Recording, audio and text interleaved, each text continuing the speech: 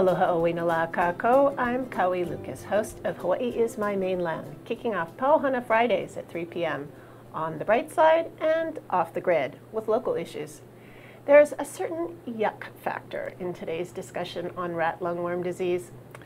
But since it can kill you, and it's found in many places across the Hawaiian Islands, hang in there. Dr. Robert Cowie of University of Hawaii Manoa's Pacific Biosciences Research Center is here to give us practical information to protect us from infection because at this point, rat lungworm is a permanent resident. With the goal of arming you with good science without alarming you, here's Dr. Cowie. Hi, Rob. Hi, nice to be here. So, two, two cowies. two cowies. As opposed to the three Robs that were in the, the elevator coming Right. up here. a lot of redundancy, but that's a good thing, right? Yeah, sure. Okay, so um, I heard you give testimony at the legislature, and it haunted me for days. And then I had to invite you to come on the show because I just had to. I just had to hear more. So thank you. Welcome. Glad to be here. So the reason you were at um, the legislature and talking to the um, that uh, committee, I think it was the Ag Committee, um, was uh, there's a lot that's been happening with rat lungworm disease. It's it's not new, right? No, it's not new. The first known cases in Hawaii were in 1960. But we have more of them now. We do. And they've been seemingly on the increase since around about the year 2000. around the year 2000. Okay, so first let's um, let's find out from you how this nasty actor works. Okay. I, I, we have a um, I, I understand it's a, it's it's a complicated life cycle. Yes, uh, and, and in, in fact, what's on the screen right now is um, an image of an adult female worm. And you can see the sort of red and white stripes going down it. The white is the animal's gut. Uh, Sorry, is the Oh. animal's um, nervous system. The red is the animal's gut, which is full of blood. It's been feeding on blood. And this is about an inch and a third long, an adult worm. Okay. So yes, we need to talk a little bit about some basic biology first in order to, um, so that people understand how they can become infected, the routes by which they can become infected, and how to prevent infection. And the image that's on the screen right now, if you look down at the, round about four o'clock, it says heart. Worms become adult, mate, and lay eggs. They do this um, and those eggs then are transported from the heart through, through the pulmonary The artery heart of the rat. of the rat. You see the image of the yeah, rat down there at four o'clock. um, so the eggs are transported by the circulatory system to ultimately to the lungs. They hatch into first stage larvae. These worms go through five stages, four larval stages and an adult stage. So their first stage larvae in the lungs, they, these move up the trachea of the rat, the windpipe of the rat, and are swallowed and go down through the gut and out the rat's back end uh, in the feces. Then a snail comes along, or a slug, um, and eats those feces, and thereby ingesting the first stage larvae that are in, in, the, in the feces. The, those first stage larvae then um, develop into second and third stage larvae in the snail. And it's the third stage larvae, and only the third stage larvae, that are infective to humans. Okay, now, so- so, so what happens then is, and indeed to rats, um, we're actually talking about rats right now, and we'll get on to the humans. Okay. I'm getting ahead of myself. So rat comes along and eats that snail that's now got third stage larvae in it. And those larvae go down its gut with, its, with the snail, and they penetrate the walls of the gut and get into the circulatory system. And from there, the circulatory system carries them ultimately to the brain. It takes about a day to Oh, get from the gut, very quick, very quick, to the brain. So these are still third stage larvae. In the brain, they develop through the fourth stage into the fifth stage, which we call the subadult stage. They stay in, stay in the brain for a while, gradually maturing. Then they leave the brain remember this is in a rat, they leave the brain, and it's important that they leave the brain because they have to get back to the pulmonary artery and the heart in order to reproduce, these new, newly developed adults. So that's what happens. And so they're now in the heart, they reproduce first stage larvae, and the cycle goes round and round again. And that's the natural way of things. That's how it works in And, the wild. and, they, and they don't kill the rat. They just keep going around and around the merry-go-round. There's some evidence that if the rat has a very heavy infection, so a large number of worms, that it can cause bronchial problems and so on. Um, uh, so breathing problems because they're not getting enough um, blood through the pulmonary artery to um, uh, to make everything work. But- so so But they, you're saying they can they can last a good long while. These rats. They, they can. them. A really, really serious infection can kill them, and it probably kills them by blocking the, the, the circulatory system in the pulmonary artery and the heart. Um, but on the whole, it, they just if they've got a milder infection, they can uh, shrug it off um, and carry on. And carry on, carrying on, making feces, which are then Yes, eaten by yes. the snails and the slugs. Okay. Exactly, All and right. it goes round and round. Well, Yeah. Mm. okay. All right. So we're at the third stage. Okay, so the way humans get infected is when the larvae are at the third stage, and you can see this in the image on the screen. It's at around about 10 o'clock. Those the the snails have already eaten the feces of the rats that have first stage larvae. The worms have developed to the third stage, just like they did, as I explained before, in the normal cycle. But if a person eats the um, the snail, and I didn't eat that snail that's on the screen. um, um, it's a live snail. Um, but if a person eats the snail with those third stage larvae in them, uh, in it, then the same sort of thing happens. It goes down your gut, into your circulatory system, ultimately ends up in your brain. And the problem is that when those worms are in, the, in your brain, they're trying to get out because they want to get back to the heart, heart in order to breathe. breed. Um, but they, our, rats, our brains are different from rat brains, believe it or not. wow, a scientist said that. Well, it's true. Okay. Um, and so our brains are different, and they can't find their way out. To Oh, put, it, to put it simply, to put it simply, um, and so what happens is that they ultimately they die in the brain, and as a result of their first of all cruising around trying to find a way out, and causing all sorts of neurological damage in the brain, destruction of nervous matter in the brain.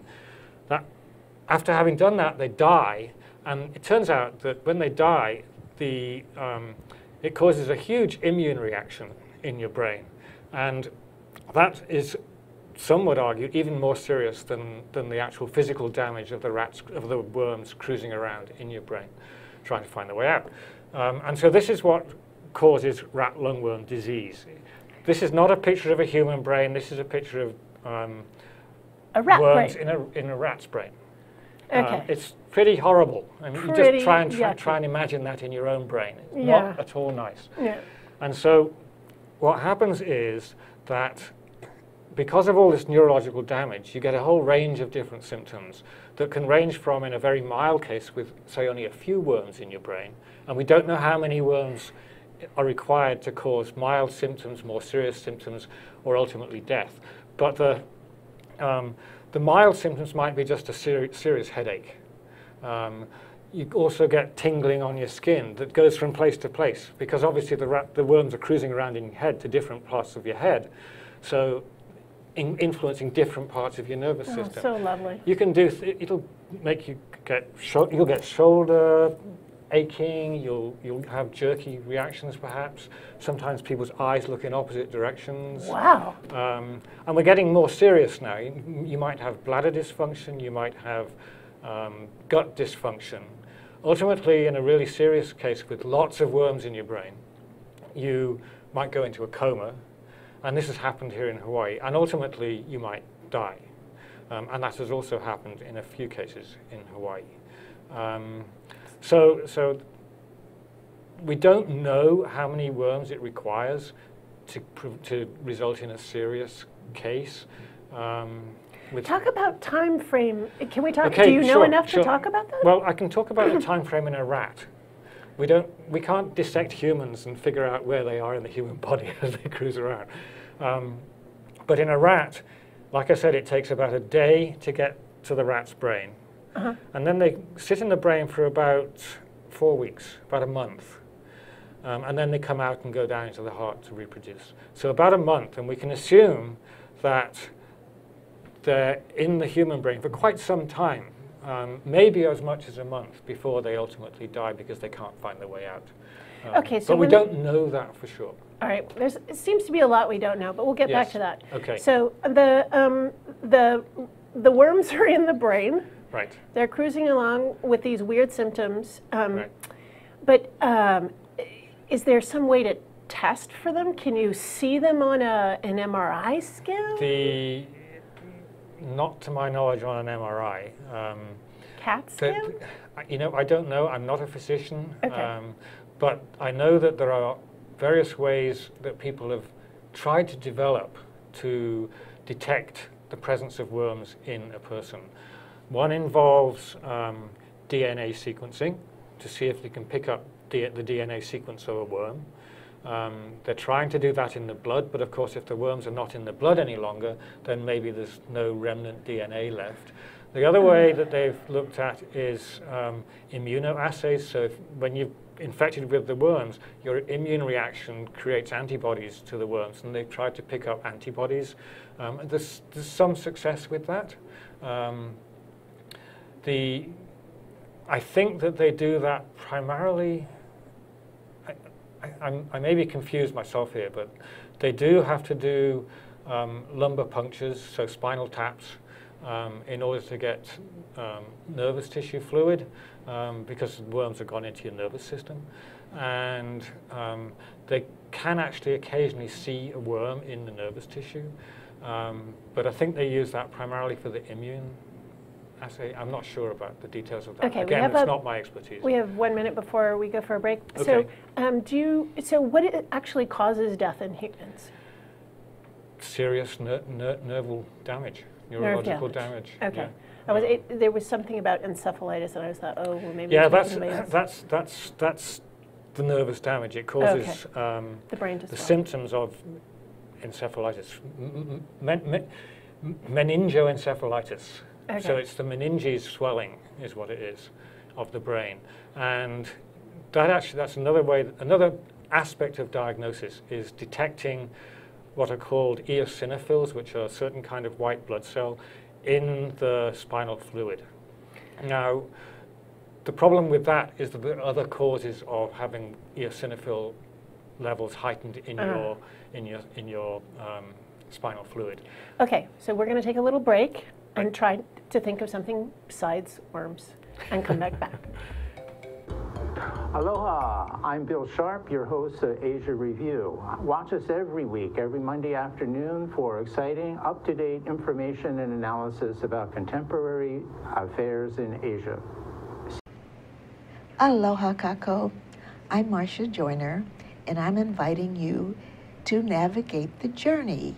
We are discussing the end of life options, and we would really love to have you every Wednesday morning at 11 a.m. right here. Aloha, my name is Joe Kent, and I'm the Vice President of Research at the Grassroot Institute of Hawaii.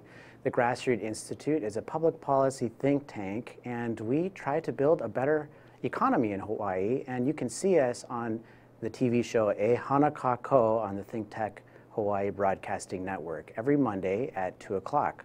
We'll see you there, and let's build a better Hawaii together. Aloha.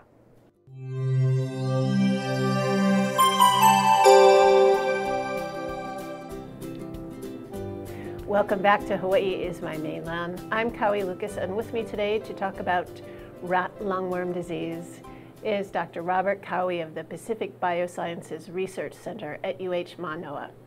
So he's just taken us through the icky um, life cycle that jumps from brains to hearts and yuck, yuck, yuck.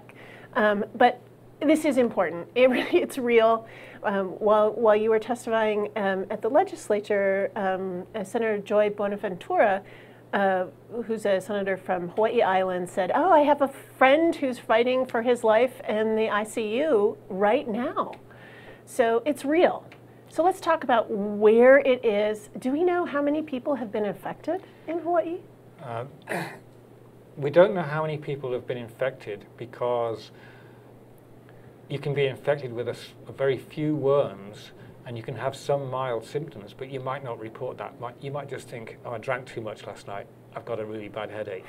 Um, some people go to the emergency room with a really bad headache, and the physician will, who may not be aware of rat lungworm disease, and many physicians are not in Hawaii. Um, okay, well, that's a problem. They, yeah, that's a problem. Um, they, they might just diagnose it as a bad case of the flu and send the person away. So it's not reported. Um, the cases that are reported um, are those in which the symptoms have, the symptoms match rat lungworm disease, the history of the patient's interaction with snails perhaps matches rat lungworm disease, and so and then ultimately one of these diagnostic things like the, the heightened eosinophil level, you put all that together and it sort of means that you're 90% confident that okay. this is rat lungworm disease. And so we've had, I think, around about um, probably up to about 100 definitively determined cases of rat lungworm disease. And I think maybe at least one death that I am aware of, uh, maybe a couple more, but certainly some very serious um, infections involving people being in comas for three months, for instance. Wow, wow. In one case yeah. that I know about. And, and permanent brain damage. So you and might potentially be alive. permanent brain damage, yes. Yeah, I was, um, read a little bit about that. Yeah. So, um, so let's let's go to well. Doesn't seem likely that that one would come across this. Really, it's snails and and rat poop. I mean, how much of us hang out with those things, right? So, but but it's but it's here in Hawaii, um, and and and thank you for this this map. I want you to talk about about the what's on it, and then also what's not on it, or okay. what isn't obvious from looking at it. Okay, so so the the map shows. Um, well, let me back up. I and others in my lab um, have done surveys of snails and slugs across the Hawaiian Islands since 2003, and this doesn't show all the sites, but it shows sites uh, where we've screened snails and slugs for rat lungworm disease, uh, for rat lungworm, not the disease, for the actual presence of the worms. And we've done this by um, sequencing DNA. Um, and what the map shows you, the red dots are where we've detected the rat lungworm in snails and slugs. The yellow dots are where we've um, screened snails and slugs but have not found rat lungworm. That does not mean that the rat lungworm isn't in those areas or in that species of snail. So for instance, Lanai, we did not find rat lungworm on Lanai um, in snails and slugs, but there has been a case, a human case on Lanai. Now, so we don't know whether rat lungworm is on Lanai or not, but what we do know is where the red dots are on, on the um, screen, that that's where rat lungworm, rat lungworm is present. Okay, and there are um, some things that are those these places have in common, or it seems that um, where rat lungworm is present, the, there's higher levels of rainfall. That seems to be of the of the factors that we've evaluated. Rainfall levels seems to be important. So, for instance, this this might at least partially explain why you've got a high incidence of rat lungworm disease in the, on the east side of the Big Island, uh, which is where the vast majority, 90% of the, case, the human cases have been, despite the fact that the rat lungworm is on um, all the islands, all the other islands except Lanai, except as far, Lanai. As, we, as, far right. as we know. So, how many sites have you tested? Uh, I think we've done around 185 sites. Oh, um, that's not a lot. It's, it's, it's, it's part of a bigger survey um, of over 800 sites, and we could go to some of, some of the material from those other sites and screen those. But this was, this was the material that we had um, at the time, and it was part of a student's master's thesis, and she had to get finished. She couldn't spend 10 years screening these things. Okay, so, it sounds, we, I keep hearing that we don't know, we don't know. Why, Yeah. why don't we know? Why? Okay, so that's, that's a, a question that I ask myself often. Um, I've tried to get money from various federal agencies, the National Science Foundation, National Institutes of Health, USDA, um, Department of Agriculture, and with the exception of one small grant that allowed me to, um, uh, that requested that I run a workshop to try to identify research priorities, and this, this uh, is, is the, the outcome of that workshop. It's the proceedings of the workshop, um, which, And is that's avail- available which is available online? online, yes. Okay, at, Um, at, at your at my site? lab website. Okay, the Pacific Biosciences Resource, Research actually, Center. actually, my own personal lab's website, so it's, Oh. called, it's called Cowie Lab, Oh, all Cowie one Lab. word, Okay. Lab. Okay. Um, spelled C-O-W-I-E, not K-A-U-I. um, so anyway, um, I think that the main reasons why the federal agencies are not willing to fund this, and when we get the reviews of these grant proposals back, the reviewers even say this. They say things like, well, how important is this disease? Uh, and in the greater scheme of things, compared to things like cancer, malaria, heart disease, it's of minor importance, particularly in the United States. In the, in, on the mainland, there's only been a, a handful, one or two even, cases in humans, because there is rat lungworm increasingly being found on the mainland in the southeast, Louisiana, Florida, th those kinds of places, warm and wet. Um, and I think that this is the reason that the federal government is not, at this point anyway, willing to fund it. And what we hear is sort of like, it's an invasive species. Right, okay. Um, and like any invasive species, agencies, government agencies are loath to spend money until they know it's a problem. The problem then is that when it becomes a problem, it's too late because it's established and you can't eradicate it and you, you have to do sort of rearguard action. Okay, so you're going to help us um, stay safe and. uh, Try. Okay, so how, how do we do that? Okay, so you have to remember that um, the way you get infected is by eating those third stage larvae, which are in snails and slugs. So as now, long so you can you can eat, and a snail snail or slug has to be raw or at least undercooked. If you cook them really well, then it's okay because that cooking kills the worms inside them, and you just get a bit more protein.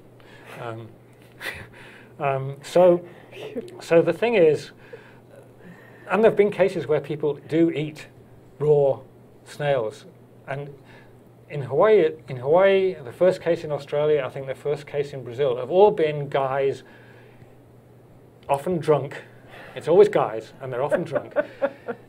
on a dare or for a bet, they say, "I'll bet you wouldn't eat that snail that's crawling around here," or "Eat that slug, and I'll pay you 200 bucks."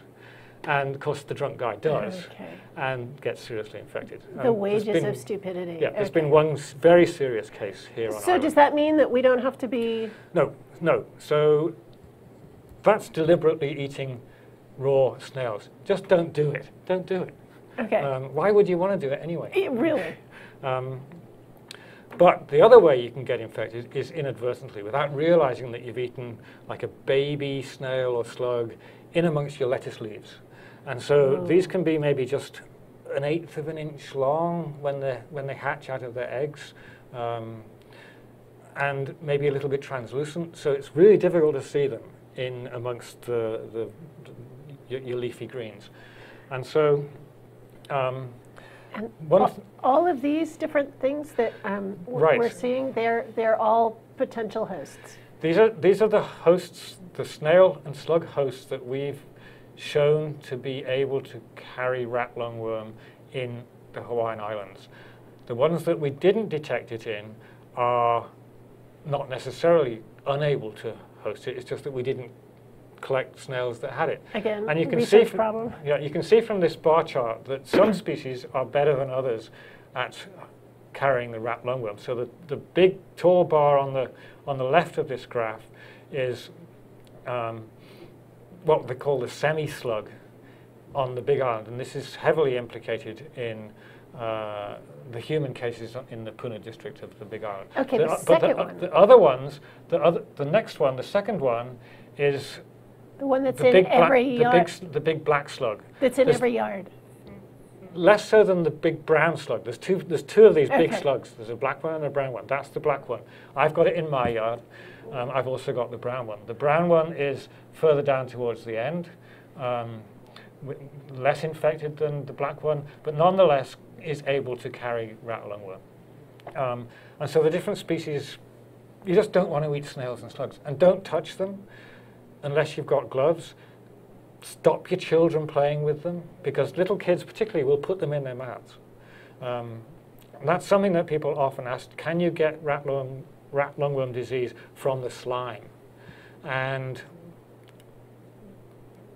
there's some equivocal evidence for that in as much as people have looked for worms in slime of snails and slugs, but they've only found very, very small numbers. So my feeling is that the chances of getting infected just by the slime are much, much less than by eating a raw baby snail in amongst your lettuce leaves. So the key is to wash your lettuce Wash your lettuce. and any other leafy greens or any other produce, and not just from the perspective of rat lungworm, but from the perspective, perspective of any other kinds of foodborne diseases and bacteria and whatever. You want to have, you want to eat clean food. And in our last minute, I, I Sure. remember from your pre- presentation that they did a study that tried bleach and everything else Right. to wash, but the effective thing was just tap water. Just, to- tap water. Um, and the, the, the- we've done experiments where we've tried to, we've put snails and slugs into lettuce leaves, on lettuce leaves, and we've tried to wash them off with these various things. You don't want to just kill them in situ because then they'll release all their worms, and those worms can survive for a very short space of time outside the snail in a damp, humid environment, and you would just be eating worms. So you want to wash the snails off. That's the key. It doesn't. You don't need to kill them. Just wash them off. Just And wash them off. Regular tap water Sure. works just as well as bleach, vinegar, or salt water, which are the things that we tested. Initially, we also tested a bunch of those uh, commercially available products for washing produce. And again, tap water works just as well as anything. Thank you so much, Rob, for clearing up some of the slimy business for us. and um, we'll see you next week. Aloha. Th- thanks for having me. Much appreciated.